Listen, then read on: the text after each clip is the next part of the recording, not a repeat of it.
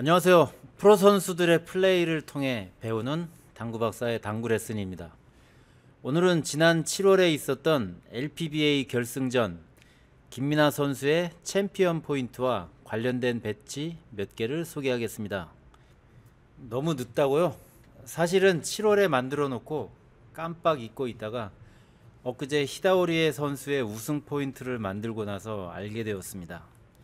히다오리에 선수의 우승 포인트를 공개하기 전에 시간적으로 앞서 있는 김민아 선수의 우승 포인트를 먼저 소개하겠습니다. 이 경기에서 김민아 선수는 세트 스코어 1대 3으로 뒤지고 있던 게임을 4대 3으로 역전시키면서 우승을 차지했는데요. 먼저 마지막 7세트의 챔피언 포인트부터 보겠습니다. 얇게 치는 옆돌리기인데요. 장축으로 길게 쳐야 하기 때문에 결코 쉽지 않은 배치입니다.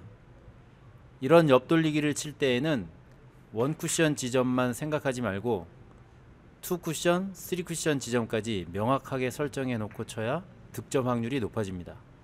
특히 투 쿠션 지점을 명확하게 설정하고 치는 습관이 중요합니다. 김민아 선수가 5이닝에서 친 3뱅크 샷이 인상적이었고요. 이 득점이 성공하면서 승기를 잡았다고 생각됩니다. 세워치기를 칠 수도 있었는데 과감하게 3뱅크 샷을 선택했습니다. 이 외에도 챔피언이 되기까지 거쳤던 배치 중에서 가치 있는 배치를 당구박사 앱과 사이트에서 소개하고 있습니다. 당구 동호인 여러분들도 연습해 보시고 실력 향상에 도움 되시기를 바랍니다.